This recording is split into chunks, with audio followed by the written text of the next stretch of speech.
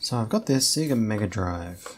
Uh, 2, Mega Drive 2, uh, in the US known as a Genesis, but this is a Australian PAL model, Mega Drive 2. Um, and, well, it doesn't work. So we are going to pull it apart and see what's what. Uh, this one I haven't had, obviously it's missing, still got the thing there, cover, but it is definitely missing the uh, adapter plate beforehand. No, not the adapter plate, what am I saying? the cover for the expansion port on the side here. Um, not quite sure what we'll find in this one, um, but uh, from my testing of it, it uh, powers on, but just gives a black screen. So, what we've got. Alright, we've got some pretty dirty shield here, a little bit rusty at the top here. Usually indicates that uh, just a bunch of crap's gotten in the human environment. Uh, and I really don't like what I see because I can see, even without taking the shield off, I'm missing a screw down here. Which usually means someone's already been in here. Um, and even outside the shield I can see some, just some corrosion in these traces in here. Let's take the shield off.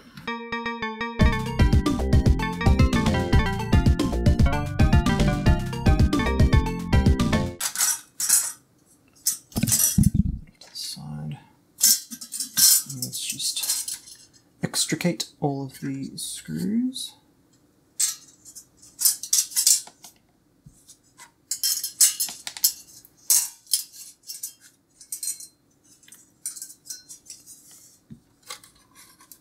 Okay. Hmm.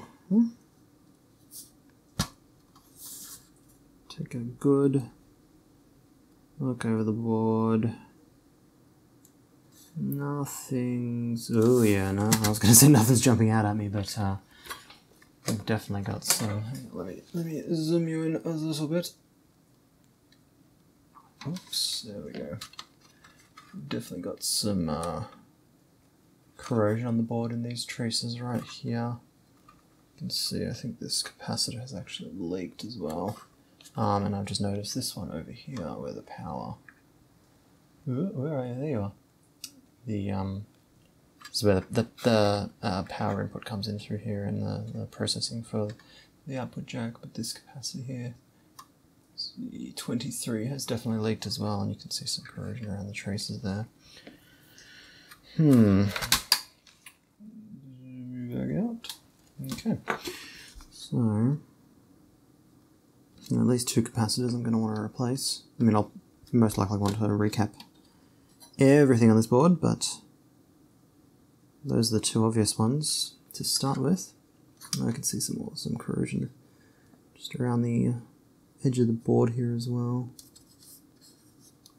Uh, the edge of the uh, connector, sorry. Some of these traces. Uh, just these ones three here, there's a couple of lines there, and going down around this edge here.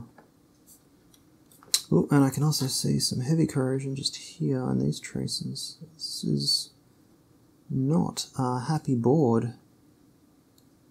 Hmm. Um, let's take it out of the case. So to do that, we need to take off the two screws. Let's have a look on the... Oh. Yeah. Oh, and that one's... Maybe that's the problem. Someone has definitely been in here before. Oh, dear. Okay. Okay, so we've got two bodge wires. I can't even see where this one was was connected to. Oh, Yep, no, it looks like it was that pin right there. Let's zoom you guys back down again a bit. Let's get to about there. So it looks like it was, yeah, this pin right in there, that via, sorry. It looks like it was there, which actually matches with how it kind of naturally wants to fold.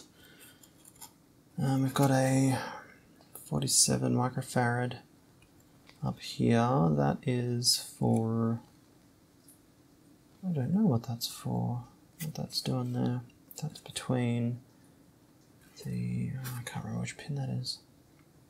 It's one of the uh, output pins and the ground. Uh, filtering of some kind.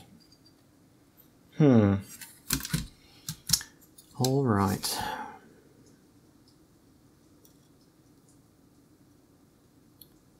Where to start? well, I'd like to take these two bodge wires off to begin with, because God knows why they were there. Alright, so let's begin.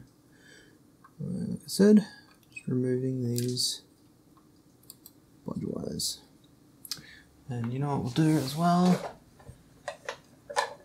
Uh, let's grab a little bit of wick.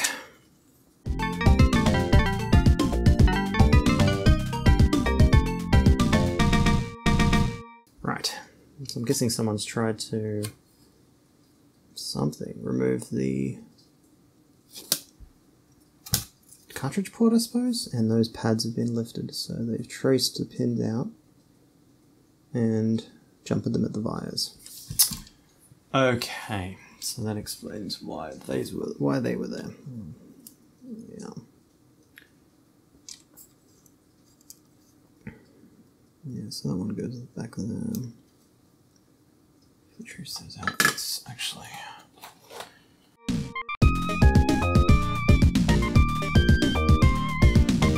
Take a quick look with the magnifying glass of doom. You can see that there. Let's look at the little sight glass, shall we? You can quite clearly see the lifted traces there. No, you can't see squat.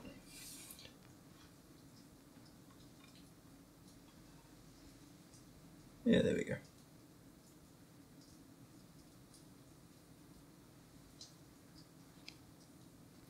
Yep. Two sets of lifted traces. Right there.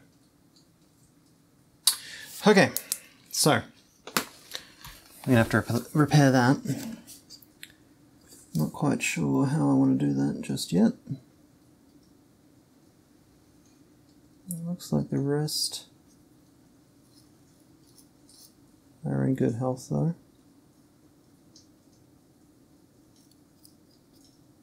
Yep. Okay, so it's just those two. That one and that one.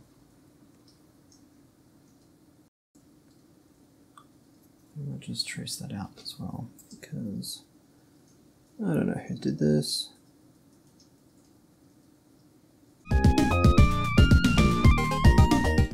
Yeah, okay, that one's correct.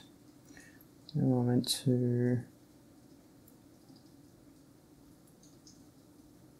this one.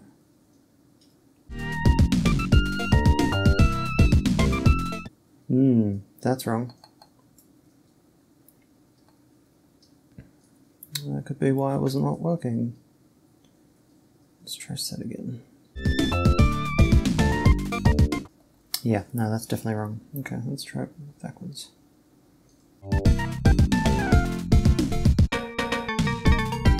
So it's actually this far right up here.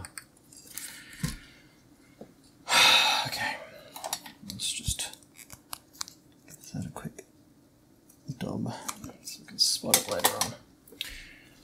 Oh boy. Um, alright.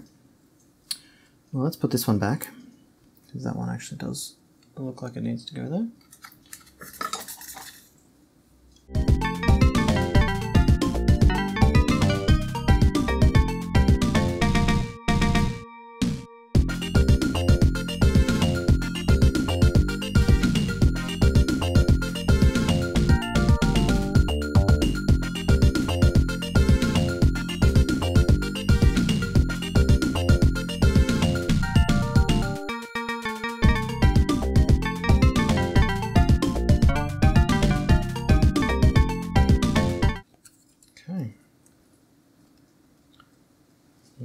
Fix. So let's grab our big Kapton. tape. Actually, before we do that, let's grab. So I just want to clean up this flux. I've had a look at the rest of this board while I've been working here, and I can't actually see any corrosion damaging the traces on the underside. It's just obviously these two uh, damaged terminals for now. Um, but so what I want to do is yeah, clean up all of this flux and whatnot. And what I use for that is these is my IPA, of course, isopropyl alcohol. But I also like to use these uh, makeup pads. They're actually really good for for wiping this kind of thing. Just give it a quick liberal spray and then.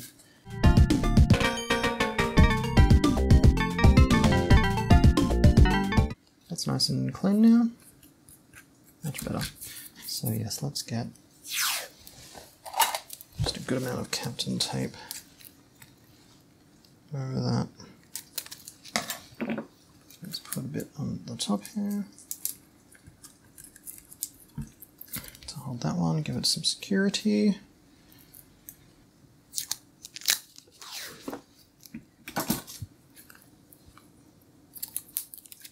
A nice long bit this way secure the rest. Beautiful. They ain't going nowhere. Where you going? Nowhere.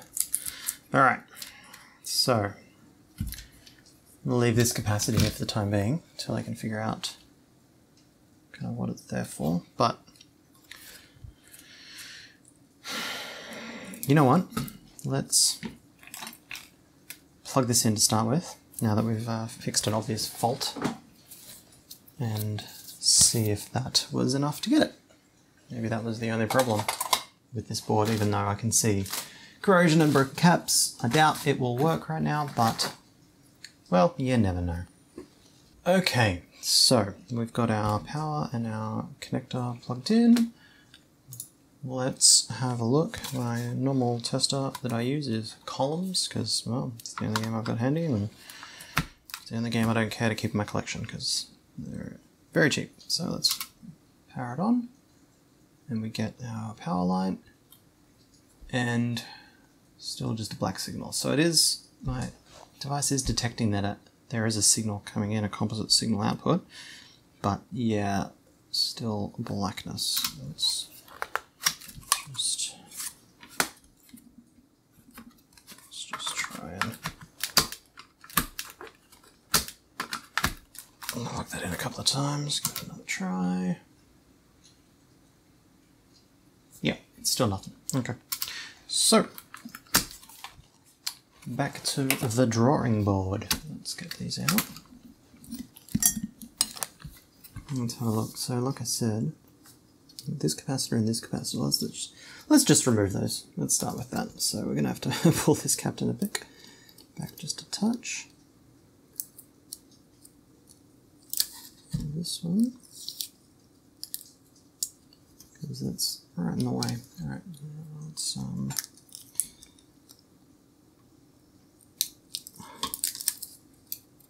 Just trim that one back, shall we? Okay, so those are the two terminals right there. So let's grab our solder wick.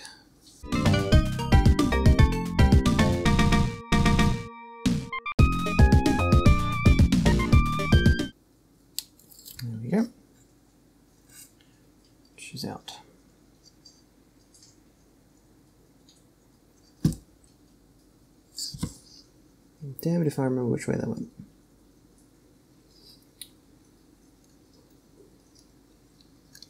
Anyway, worry about that later. Let's clean up that contact. Okay. So what are you? You are a 10 volt 47 microfarad. Let's take a real good look at these contacts, these wires right here.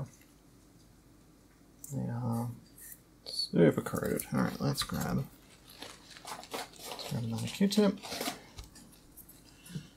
I'm not gonna spray that whole area, I'm just gonna dunk this time.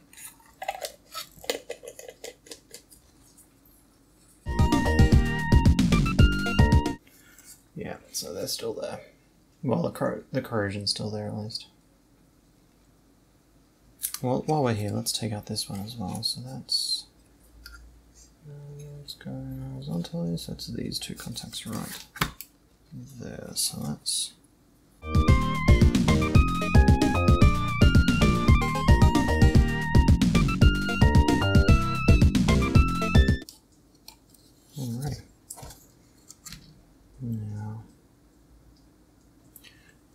definitely looks like it's leaked. What are we? We are a 100 microfarad 10 volt. Oh yeah, there's lots of lots of damage up underneath there.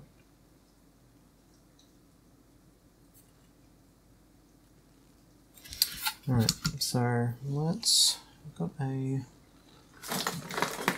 little this is my bottle of vinegar. So just to counteract any electrolytes that might be on there, just any, anything basic, we'll just give it a wipe down with some quick vinegar.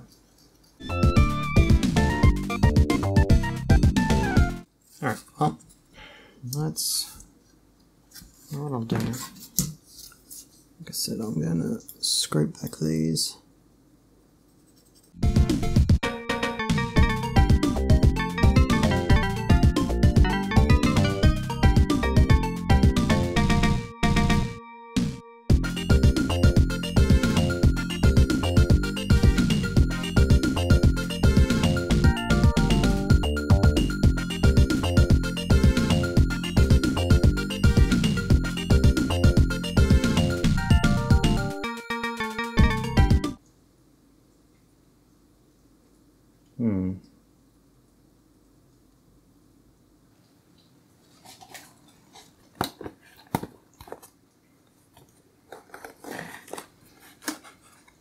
All right.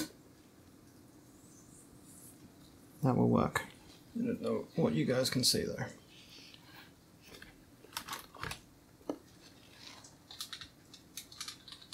Let's reposition you and zoom you in a bit.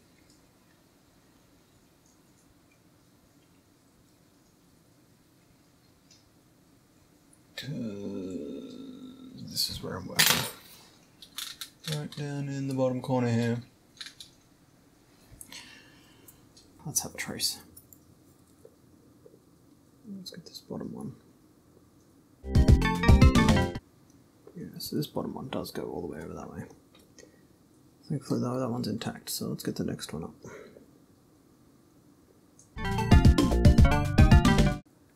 So that one goes to there.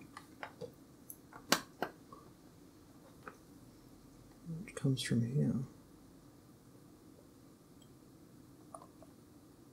I might be able to jump with these.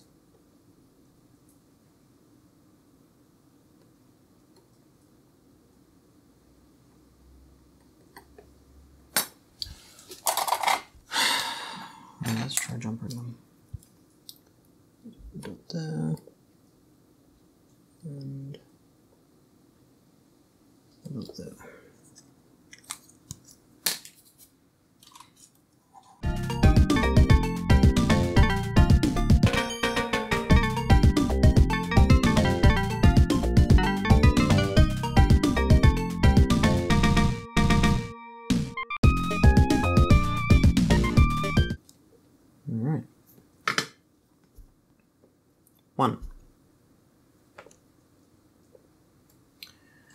And now let's trace out do the rest.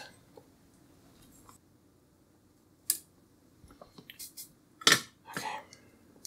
Those wires are repaired. Well, are repaired.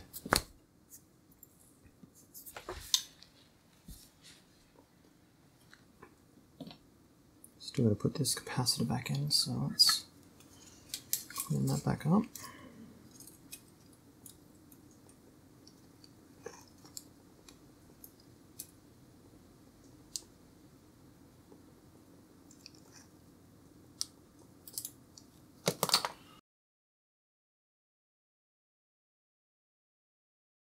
So we have a replacement 4710 volt. So let's pop that in there. Positive is this side.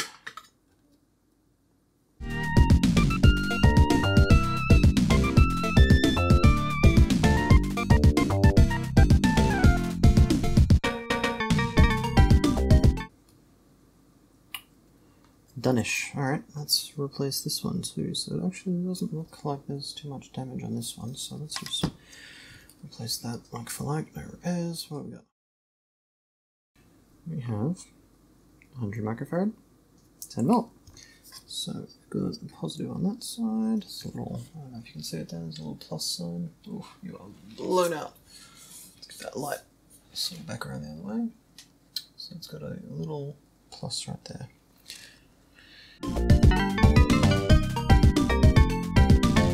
Alright. Well, thankfully, with this damaged trace there, actually a wire right there. So let's test from this side of the capacitor to the wire. And we're good. So that's not actually that's not an issue. I can't see any other major issues, so let's give that a try again, shall we? Get our plugs. Columns. What have we got? Power again. Oh! Look at that. Sega. Beautiful. Working Mega Drive. Just to be sure, to be sure, let's plug in a controller. If I have one handy somewhere. There we are. a controller to the front port here. Let's give it a test. Oh yeah.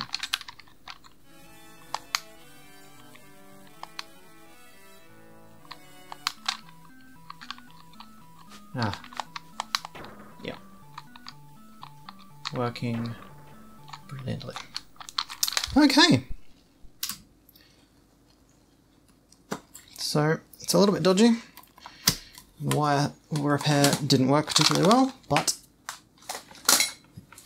we've got it back. So the main culprit there looked like we had two damaged capacitors, this one here and this one here, and some dead traces, which have now been repaired with these, well, yeah, bodge wires. So what we'll do to secure these ones, just to protect these, is pop in a little bit of Kapton over anywhere that we've scratched the terminals, which is mostly up here, or soldered a new connection, just so that they're nicely secured to the board.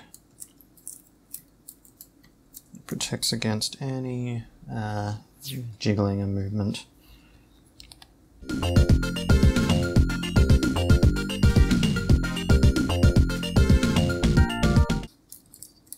that should be that. Alrighty. Um, we can look at the rest of the capacitors. They're actually looking pretty healthy, so I'm probably not going to change anything for now. I'll leave it be. We'll see how that goes. Could always recap this. I, I, yeah, I mean, board with this many bodges, I don't think it's really worth doing a full recap on. You know, it's already had so much work done. It's not, never going to be pristine. So, um, I, I reckon I'll just leave this one as is and uh, put it back together, be done with it. And let's give it one final test. And go back together.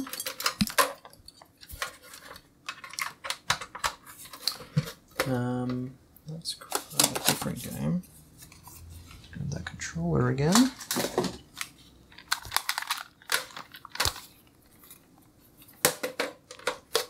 This is Flashback, one of my all-time favorite Mega Drive games. It on, get our light. Here's our startup. Hey. Delphine software. Oh yeah. This is a, just an outstanding game. If you haven't played Flashback, I highly recommend it. Fantastic intro. Look at this cutscene.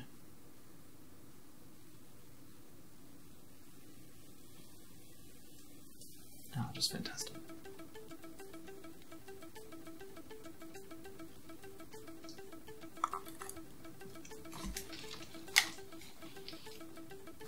And the music for ah 1993 amazing MIDI MIDI quality sound.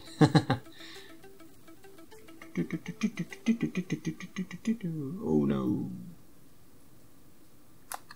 Let's skip that. So,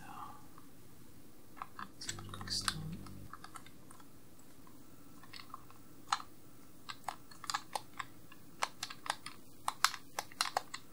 Going away.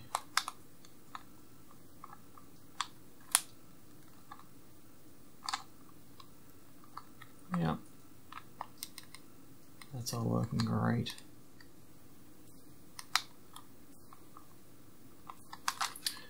Alright. Cool. So, take that off. Now the case is obviously needs a little bit of work. It's got uh, quite a lot of dirt. Oh, in the, in the edges here, and there's a good amount of scuffs. So I might take a little bit of time to clean that up. Polish, I don't have a replacement uh, cover for here, but uh, I'm sure I can find one in the pile from a Mega Drive I can't repair. And it looks like this uh, Sega logo has actually been damaged quite badly beyond repair, really, so this is never going to win good looks category, but uh, yeah, as far as Mega Drives that weren't working that are now working, here's the one.